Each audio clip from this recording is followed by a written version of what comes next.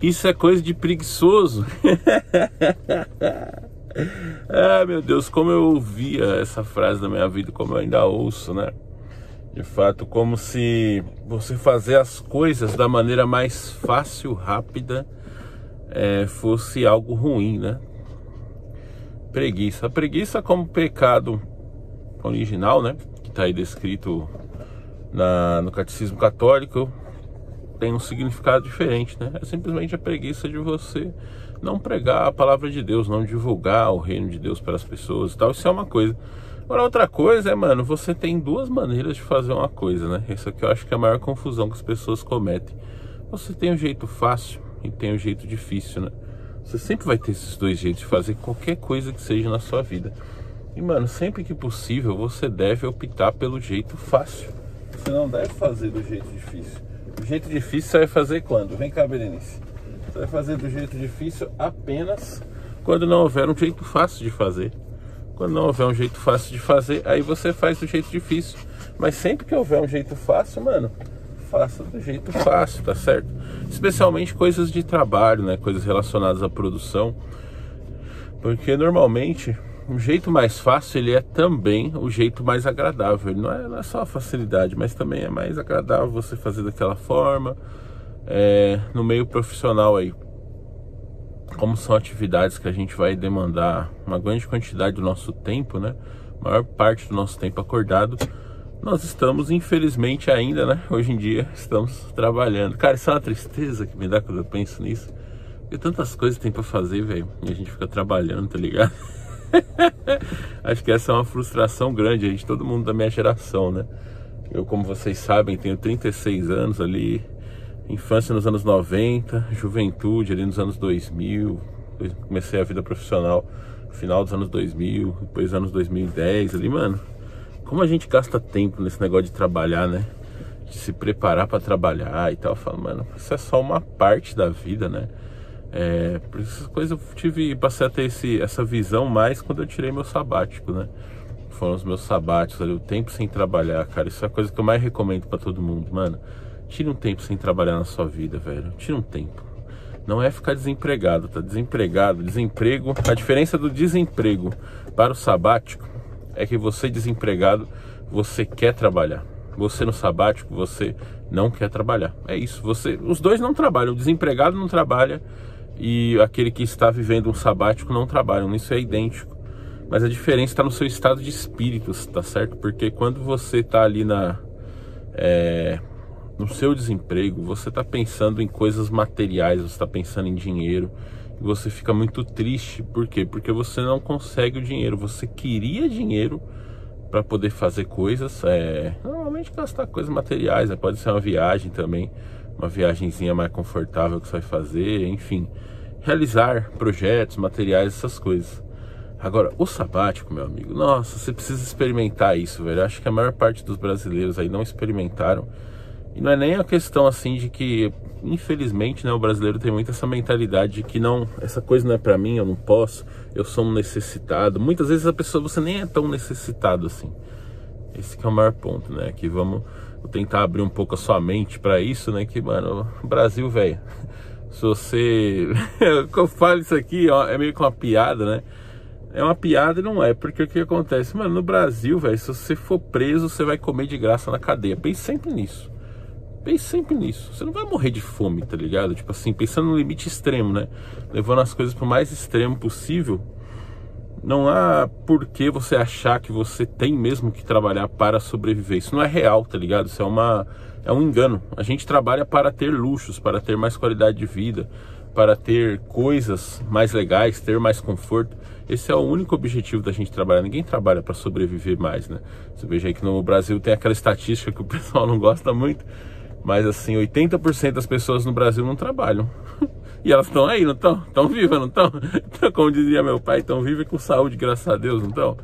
Então, meu filho, de fato, você também não precisa trabalhar. O que faz você achar que você precisa trabalhar é uma mentalidade meio que é, errada nesse sentido, né? Isso tem tudo a ver com a questão do de procurar as coisas do jeito mais difícil. Às vezes você pode ter um jeito fácil de viver a sua vida, um jeito mais tranquilo, uma maneira mais de boas, né? Da mesma forma que você tem para fazer coisas também. você tem a forma, por exemplo, vamos falar que da nossa área, programação, mano. É aquela tipo mentalidade que eu sinto asco, né? Aquela mentalidade assim de que, ah, não, o cara tem que programar no bloco de notas. Aí ele é um bom programador. Os programadores de IDE, de chat GPT não são bons. Antigamente os programadores eles eram melhores porque eles faziam as coisas na raça e tal. Então isso aí é uma mentalidade, mano, muito é muito antiprodutivo isso, sabe? Porque a produtividade é você fazer as coisas. A pessoa pensa muito assim: produtividade é fazer mais. Mas não é. Produtividade não é fazer mais. É fazer mais com menos. É precisa ter essas duas coisas, né? Você teria aqui o, o padrão, que você tem esforço médio, produção média. Produtividade não é esforço alto, produção alta. Não, meu filho. Produtividade é esforço baixo, produção alta. É um negócio que você faz assim, ó. Você traz o seu esforço para baixo e joga a sua produtividade para cima. É ao mesmo tempo, né? Uma coisa quando a gente está nessa cultura nossa aí que valoriza sacrifício, dificuldade, que chama quem faz as coisas do jeito fácil de preguiçoso, fala, ah, o cara trabalha remoto, ele é preguiçoso e tal, né? Não que não seja, a gente é preguiçoso, mesmo. mas a questão aqui tá na questão de querer dizer que isso é um defeito, e não é, mano, isso é uma qualidade, tá ligado? A partir do momento que eu na minha casa aí consegui, por exemplo, na pandemia, chegava a triplicar, quadruplicar meu salário. Porra, com menos esforço estou produzindo mais, é a consequência natural das coisas, né? Então, é claro que isso não é tão fácil assim também. Mas imagina, já não é uma coisa tão fácil, natural você achar essas coisas, mesmo quando você as busca, né? E eu tô sempre pensando na maneira mais fácil, mais rápida, onde eu consiga ter mais resultado com menos esforço, com menos tempo. Eu tô sempre pensando, a minha vida, é, pelo menos sempre não, né? Que quando eu não tô trabalhando, não, mas quando eu tô trabalhando profissionalmente, isso aí é o meu foco, mano. Meu, meu horário de trabalho ali, eu fico pensando, mano, como é que eu posso fazer isso aqui mais rápido, pra eu gastar menos tempo nisso? Para poder fazer mais coisas, para poder trabalhar menos? Como é que eu faço para ganhar mais dinheiro, tá ligado? Eu tô sempre pensando nisso, isso é o meu foco da, da carreira. Eu digo para vocês, é difícil, tá ligado? Mesmo você focando nisso, você olhando, falando, não, esse é o objetivo, cara. O objetivo é trabalhar remoto, trabalhar menos horas por dia. O objetivo é ganhar mais dinheiro, produzir mais e tal. Tudo isso é, não é fácil, mesmo estando focado nisso. Agora imagina o cara que tem a cabeça de que, ai não, trabalhar remoto é coisa de preguiçoso. Ai não, usar ferramenta é coisa de preguiçoso. Ai não, tem que ser difícil para dar valor. Ai não, o que é fácil, o que vem fácil, vai fácil. Então se você tem essa cabeça, mano, como fica mais difícil, tá ligado? Se nem procurando ativamente, né? Na tal da produtividade a gente às vezes consegue quanto a gente queria, né? Porque o ser humano ele tá sempre querendo mais, né? É, o minimalismo é uma dificuldade grande que eu tenho, e eu acho que a maior parte das pessoas tem o que é o suficiente? Né? O conceito de suficiente eu acho que é a coisa mais difícil do minimalismo. Mas se você não está pensando nisso ativamente, não está buscando isso ativamente, fica mais difícil ainda. Você está indo no caminho oposto. O que a gente vê no Brasil é isso aqui, ó. Normal, né? Produtividade, menos esforço, mais resultado. Aqui não. O pessoal prefere a dificuldade mesmo com menos resultado, tá ligado? Tipo assim, ah não, esse jeito aí que você quer fazer é muito fácil, é coisa de preguiçoso, não pode ser assim não. Você tem que dar essa volta. Que outra coisa também mar... marcante na nossa cultura, né, mano? Que o pessoal não gosta de ferramenta, tá ligado? Tanto que você vê aí que viralizou, não sei se foi só no Brasil, né? Mas viralizou a história do cara lá. Todo mundo tá achando lindo, né? O cara sem equipamento foi lá e tal e ganhou medalha de prata lá na competição de tiro das Olimpíadas, né? Só que, mano, aquele cara não tava usando a ferramenta, velho. Você imagina ele com a ferramenta, ele teria tido ouro, tá ligado? Isso que é a grande questão, né? O fato do pessoal tá achando isso aí tão legal, né? Eu também achei legal, achei divertido. Mas de uma maneira ou de outra, quando a gente para pra pensar, mano, é a, é a cultura do brasileiro essa, velho. O brasileiro não gosta de ferramenta, o brasileiro não gosta de EPI. O brasileiro, quantas vezes você vê as pessoas assim, mano? Você vai fazer um negócio, você tem a maneira, tem a ferramenta, tudo certinho pra fazer. Você, não, não, vou embaraçar com isso não, vou fazer aqui no, no esforço porque de fato a gente tem essa, essa característica, né? E todos nós, eu me incluo nisso aí também. Eu cresci, fui educado nesses valores, eu vivo nesses valores e eu tento me desviar deles, tá ligado? Que é aquela história que a gente vê muito educador financeiro falando, né? Se você fizer o que todo mundo faz, você vai ter o resultado que todo mundo tem. E, mano, eu não quero ter o resultado que todo mundo tem, tá ligado? Eu quero um resultado diferente, mano. Então eu não posso fazer o que todo mundo faz também. então, de uma maneira ou de outra, eu acho que isso é uma luta diária, né? É, tem várias coisas que, que catapultam, assim, expandem, jogam a nossa produtividade lá para cima, né? Uma delas é programar deitado. Tem um vídeo aqui no canal que te ensina isso, né? Eu, meu momento mais produtivo, onde eu consigo ser mais produtivo no meu dia quando eu tô deitado, cara. Deitado, programando deitado, eu tô 100% confortável, eu tô com foco ali. Eu imagino que tem até a ver com fluxo sanguíneo, né? Que eu deitado fica mais fácil o sangue fluir pelo meu corpo do que se eu tiver na posição ereta, o coração tem que fazer mais esforço, né? É, e no momento de concentração, né, mano, deitou ali, ó, pá, o negócio flow, é flow, estado de flow, tá ligado? Então, fora isso também tem a questão das habilidades, né? Atualmente eu tô aí usando a Udemy, né? A Udemy é uma escola online, você pode assinar também, eu recomendo para todo mundo assinar a Udemy, porque não só a Udemy, tem a Lura, tem várias plataformas de curso, mas a que eu tô usando é a Udemy. E, mano, virou meu Netflix aquilo lá.